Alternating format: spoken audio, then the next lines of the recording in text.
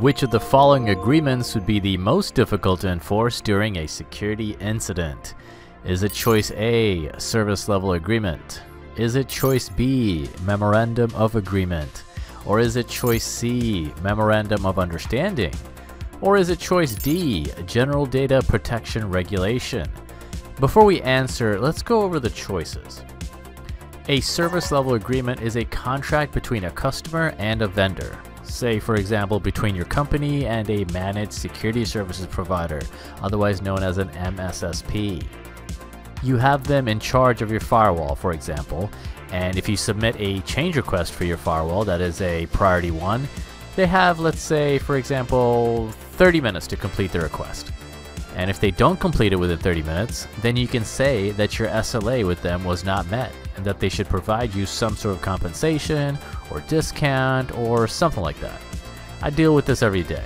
Uh, I worked for an MSSP and this was our daily business, meeting SLAs.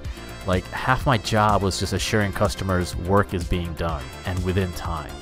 And sometimes that that's all the insur- assurance they really need, you know what I mean? They want to know that a professional is handling business even if it's done late or not with an SLA. They are really easy to enforce because it's in writing.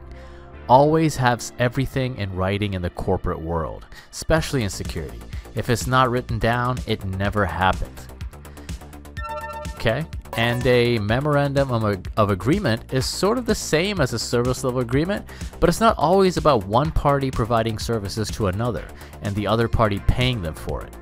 An MOA could be an agreement in which two parties agree to work with each other toward a common goal.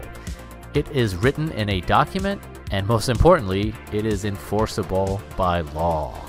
It is not difficult to enforce during the course of their work, during the course of their partnership, and if needed, it is not difficult to enforce during a security incident.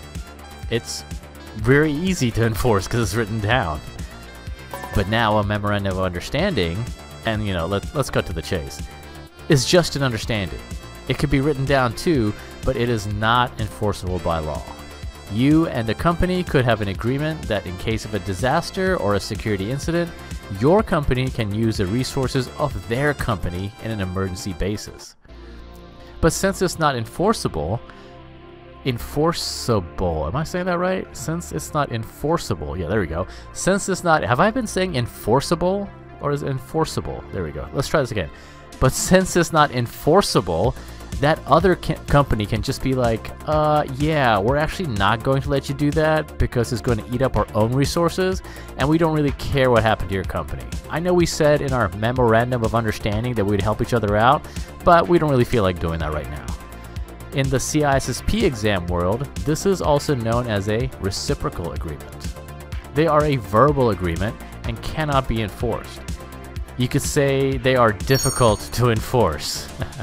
The correct choice for this certified in cybersecurity exam practice question is choice C. Know the difference between an MOA and an MOU for the CC exam. And the exam, as I will be constantly trying to tell you, is easy, guys. The CCS exam is easy. I took it a long time back when it first came out, and it was easy. If you know the basic terminologies and, and, and the language that's used and definitions, you're going to pass it just fine.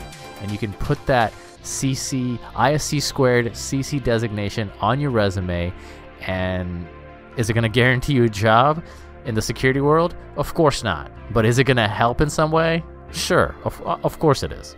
It's going to be better than not having it there, right? Um, just sign up for my course on it, the Sonic Project. Quickly pass it and put it on your resume and go seek a security job in the job market and see what happens. It's a great industry to be in. Not only does it pay a lot of money, it's highly satisfa- it has a high satisfaction rate. Again, I'm not going to say it's going to guarantee you a job, but it's not going to hurt either. Look, I didn't devote eight months of my life to create a CC exam course if I didn't believe in it now and for our future and your future, I strongly feel is going to be big. And choice D, the GDPR, this isn't an agreement, it's a straight up regulation. It's a European Union law that must be followed by any company doing business with European citizen or handling European citizen data. It is 100% enforceable with some pretty hefty fines if you don't follow it. Okay? All the best on your CC exam. You will do great. I promise. Oh wow, this video is already five minutes long? I thought I was just talking for like a minute. Uh, oh, okay.